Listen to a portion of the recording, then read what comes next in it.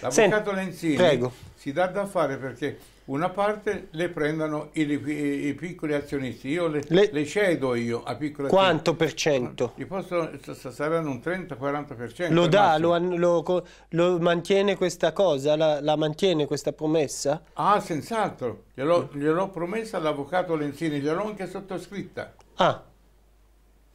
Beh, insomma. Quindi se lei vuol sentire l'avvocato Lenzini... Sì lei gli, gli senta, numero, senta sì, dopo, dopo, si chiama, dopo si chiama. Senta, mm, ma se la vuoi chiamare ora, glielo do anche ora. Do, dopo no, si chiama, adesso finiamo, si finisce noi. Lei sì. vede, per esempio, ho qui un'altra un lettera, un'altra lettera del, dell'avvocato Michele Gentiloni di Roma, mm.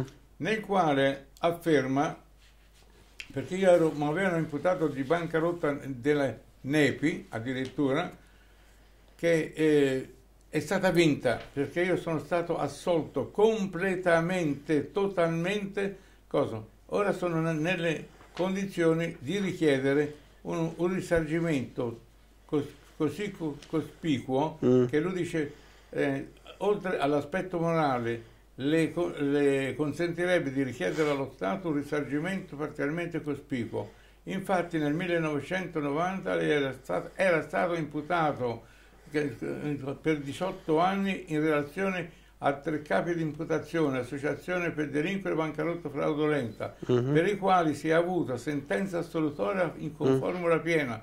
Ritengo che il danno sia fa- difficilmente calcolabile, ma, ma, certamente enorme. Questo è l'avvocato Gentiloni Silvestri di, di, di Roma. Io, e, que- e questa qui è del 23 febbraio del 2009. 9, quindi... quindi d'altra parte siamo dietro a richiedere i danni allo Stato. Una domanda eh, maleducata, sì. mi scusi, però gliela, gliela, devo fare.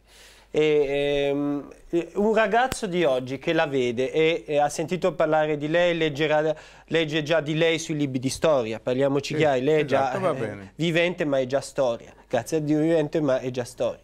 E, um, dice, ma come ha fatto Agelli a fare quei soldi? Come li ha fatti? Con la P2? Ma, ma per carità. Cioè erano i soci no, che no, la no, pagavano? No, no, no, io le rispondo subito.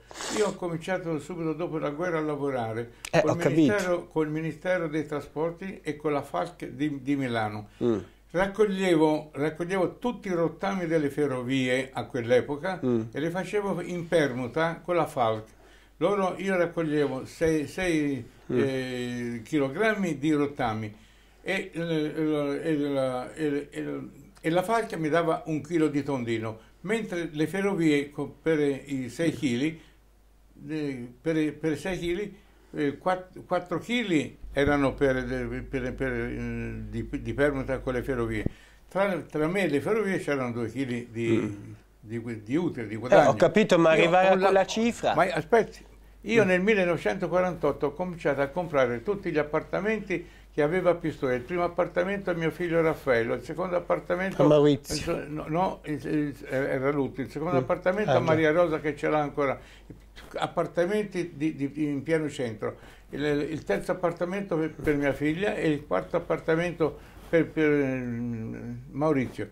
Ho comp compravo lei, io, io li parlo di quell'epoca, perché guadagnavo l'ira di Dio. Io ho caricato anche 30 vagoni di, di, di, di rottame al giorno. La, la, P2 quanto fruttava? No, no la, la, la, P2 non ha mai fruttato nulla. Non, non, una non ha mai fruttato nulla e d'altra parte mi pare che non abbia bisogno di prove perché durante lo svolgimento dello scandalo della Vabbè. P2 che oggi che oggi col, col, col, nuovo libro che ha fatto Mola, e questo è un lavoro di 5 anni, no, no, Gelli e la P2. Facciamolo fra vedere. Fra cronaca, no, no, no, è storia.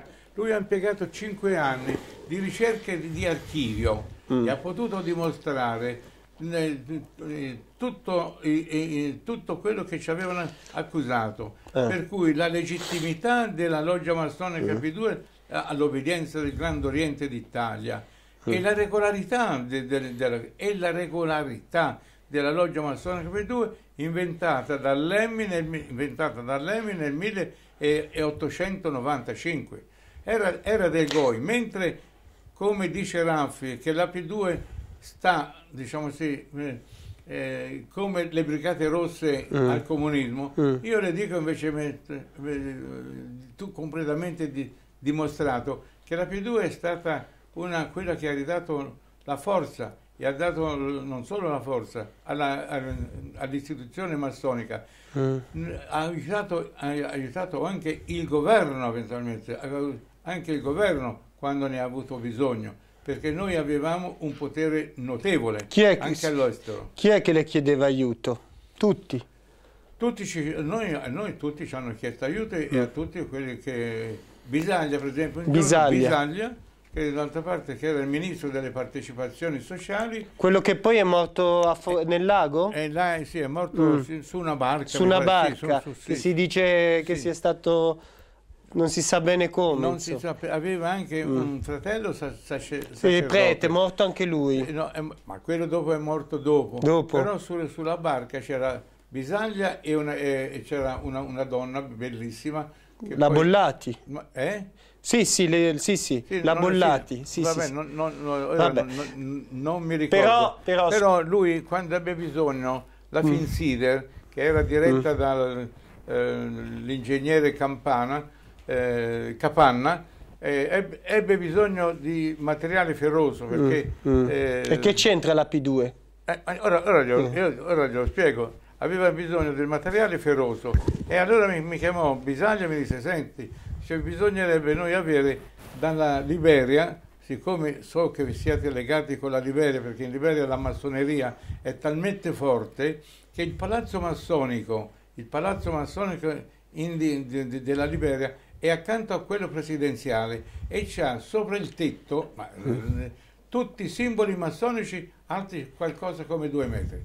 Quindi dico, se tu hai rapporti con la Liberia, conosci William Tobler, che è il presidente, e io le dissi di sì. Sono andato, sono andato io in, in, a, a, Morovia, sì. parlai, parlai con, con, con, con, il presidente e dopo una, il secondo viaggio eh, completai l'operazione e eh, tutti i tedeschi furono cacciati.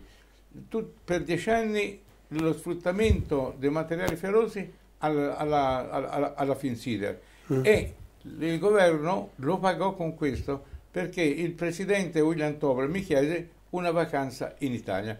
Io gli feci fare questa va va mm, vacanza in Italia a Stresa, all'hotel, all Borromeo. Lui e una trentina che facevano parte della corte, d'altra parte anzi è stato un, mm. un, un, gesto che doveva essere fatto. Questa è costata alla, al mm. governo. La mm. vacanza del, eh, del, del, del presidente all'hotel Borromeo e basta. Eh, no, Avete aiutato l'economia eh, italiana. Certo, se ma noi si aiutava senza... Se si può far capire in ma, modo ma, semplice. Sì, semplice. Ma senza tangenti. Perché d'altra parte io viaggiavo allora come ministro plenipotenziario dell'Argentina sì. e quindi avevo i biglietti, avevo i biglietti potevo viaggiare con, con, un tesserino particolare su tutti eventualmente gli aerei mm. senza pagare una lira. Senza... Senta, che tipo era Angelo? Eh, scusi, Andreotti le ha mai chiesto una mano?